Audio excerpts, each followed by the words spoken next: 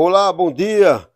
Hoje nós estamos na comunidade Barrinhos, no município de Santana dos Garrotes. Hoje a nossa reportagem veio contar o drama de uma família que teve sua casa tomada pelas chamas e por pouco não aconteceu uma grande tragédia dia 1 de junho de 2023. Logo na entrada da casa, o quadro de Coração de Jesus e Coração de Maria nos dá as boas-vindas. Mas se quando entramos, nos deparamos com um cenário de destruição. A cama toda consumida pelas chamas, no guarda-roupa as poucas peças que restaram e logo acima a pequena bicicleta que restou da destruição. A dona da casa, emocionada, nos conta como tudo começou.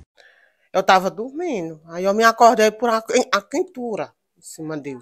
Aí eu fui, chamei a, a, a menina, aí ela se acordou. Aí eu fui, eu digo, vamos sair que a casa tá pegando fogo.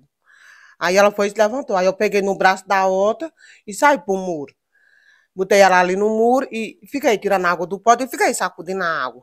É possível ainda ver resto das roupas pelos quartos. Na cozinha, a geladeira destruída. O telhado, uma grande parte caiu. Seu Gilvan, irmão da dona da casa, relata como ajudou a conter as chamas. A arma já estava sacudindo a água, tudo em cima, apagando fogo.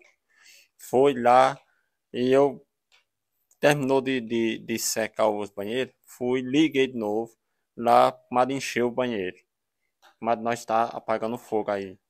Aí, só que já tava o fogo, já tinha queimado o colchão, tudo, quando eu cheguei aqui. Aí nós fomos terminando de apagar o resto. Tudo começou aqui nesse quarto. Por sorte, não dormia ninguém.